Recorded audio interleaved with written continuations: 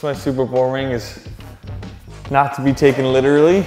It's um, it just basically is like a way of living. It's like an attitude more than anything. Uh, we had some people work with us on the album, which we've never had before.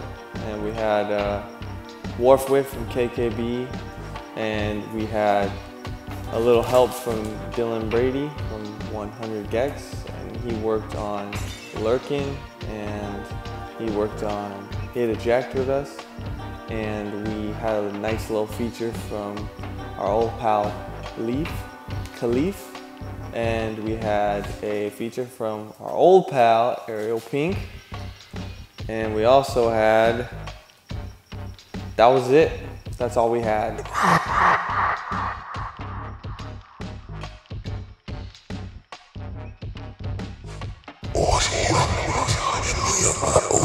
We harassed him until he basically had no choice but to work with us.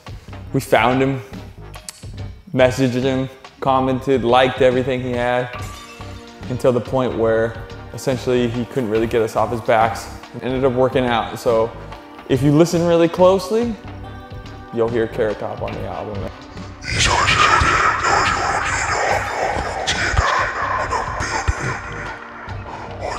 Oh yeah, you know.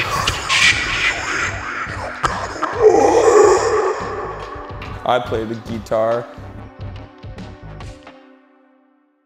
Uh, AM/PM truck is essentially about me falling asleep at the wheel and I don't really want to fall asleep at the wheel anymore, so it's me talking about it and how I don't want to do it anymore.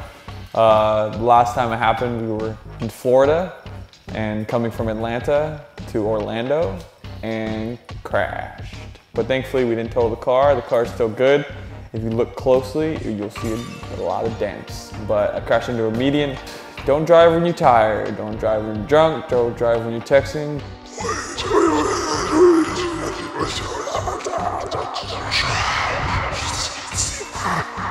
We do like wheelbarrows with each other. We're like, we'll just, I'll grab his feet, he'll grab my feet, and we'll just start running.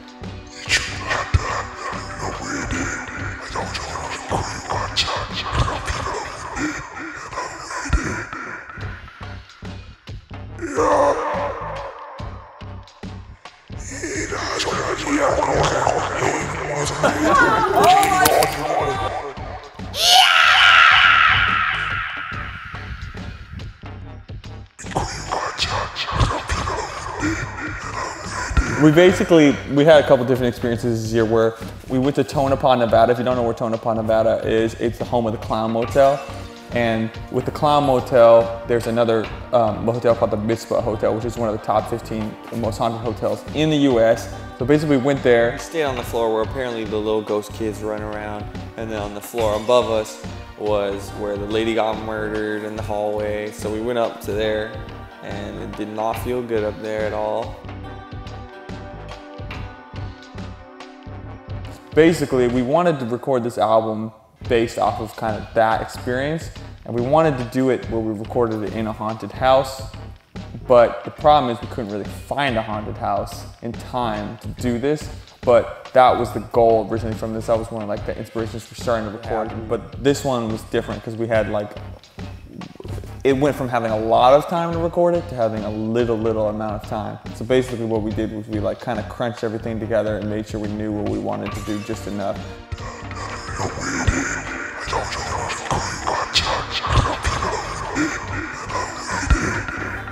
Yes! That's why yes. Great question. So basically there's a song called Clench to Stay Awake and when I wrote the lyrics, I had myself in mind, but also something that could relate to him as well. And it's, uh, we tend to faint a lot. So the song is based around how much we faint and how to basically deal with it.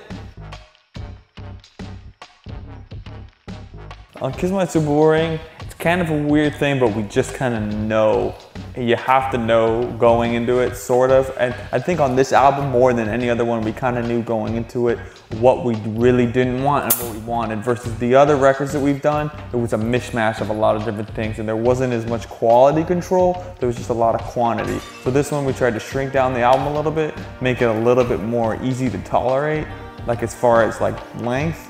And it's juicy. It's packed full of a lot of different things. Even the songs that we noticed from ourselves and what we worked on is even the drums, they're layered, there's, there's bongos, there's, there's all kinds of little bells and hits in there and little things. And the guitars, they're layered, the drums are layered, the bass is layered.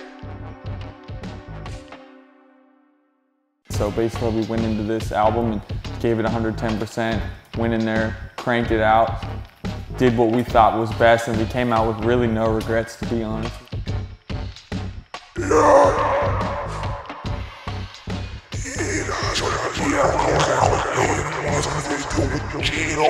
Yeah.